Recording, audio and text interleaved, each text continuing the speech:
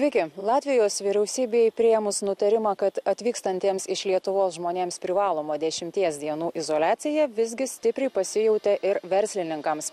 Štai šalia manęs yra pasvalio verslininkė Vida Varnaitė, kuri turi netoli pasienio ir parduotuvę, ir restoraną. Tai sakykite, pone, kaipgi jums ar pasijautė dabar, kad sumažėjo klientų srautas? Mes jų tiesiog nebeturime kad sumažėjo yra ne ta žodis. Tiesiog jų nebėra. Nes žmogus, kuris yra kavinė iki pasienio yra 20 km, važiuodamas žmogus namo, ypatingai kaimo, jisai nestos valgyti. Mūsų visi klientai buvo pravažiuojantis ir ypatingai Latvijos klientai. Šiai dienai neturime nieko. Tuščia ir vakar, ir šiandien.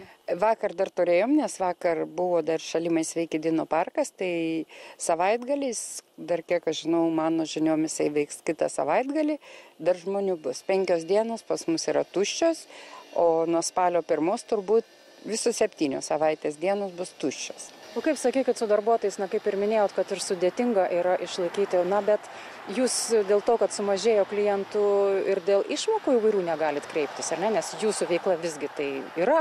E, išmokas e, gaut, nu, mes tikimės, kad e, veikla ne visa uždaryta, bet uždaryta kavinių veikla bus.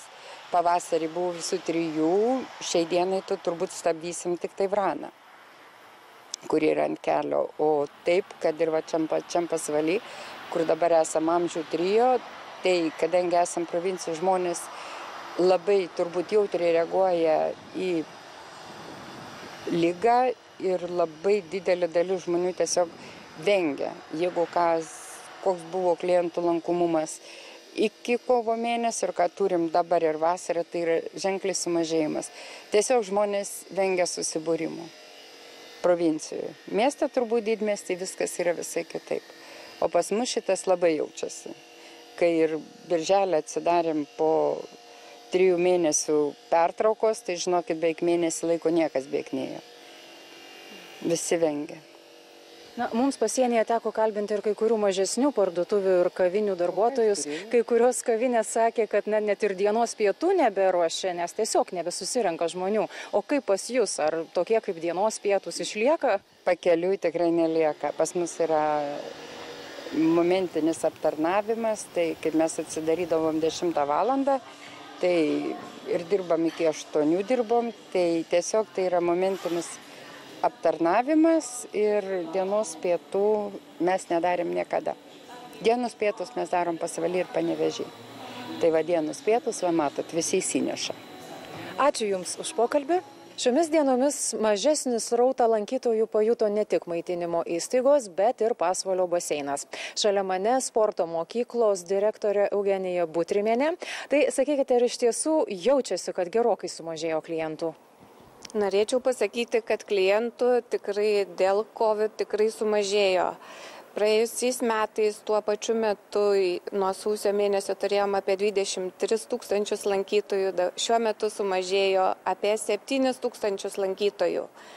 Mažiau sulaukiam iš aplinkinių rajonų mažiau atvažiuoja latvių nebedraugauja kaimynai tiesiog užsidarė sienas nebenori pas mus atvykti. Didžiąją dalį lankytojų čia sudarydavo ir bauskės gyventojai ar ne? Nes čia iš tiesų yra labai netoli atvažiuoti. Tai ar daug sulaukdavot bauskės gyventojų? E, Buvo didžioji dalis, iš atvykstančių didžioji dalis sudarydavo mūsų kaimynai, broliukai Latvijai, būtent iš Bauskės ir šalia esančių miestelių o dabar kai nesulaukėme tai vat sakau labai labai jaučiam ir aišku gal šiek tiek našta ir savivaldybei dėl to kad sunkoka išsilaikyti Tai visgi pajutote, na dar tik pirmosios dienos, ar ne, kada vat, privaloma izolacija atvykstantiems iš Lietuvos į Latviją. Tai visgi da, pajutote, ar ne, kad sumažėjo Latvijo atvažiuojančių srautai? Tikrai taip ir netgi labai pajutom. Savaitgalį turbūt daugiausiai sulaukdavot. Na kaip šis savaitgalis skiriasi nuo ankstesnių? Mm, savaitgalis priklauso nuo orų. Jeigu geri orai, tai dar žmonės į gamtą, į daržus, o jeigu prastesni orai, tai sugriūva pas mus į baseiną. Tiesiog laukiam lankytojų ir bandysim ištvertą tokią negandą, tą laiką ir kad lankytojai tikėsimės, kad lankytojai sugrįž pas mus. Ačiū to jums ir palinkėsime. Na, o mes grįžtame į studiją. Dėkoju. Po, trumpo, trumpos pertraukėlės mes keliausime į Junktinės Amerikos valstijas, į Vašingtoną. Primenu, jog Amerikoje prasidėjo iš ankstinis balsavimas prezidento rinkimuose.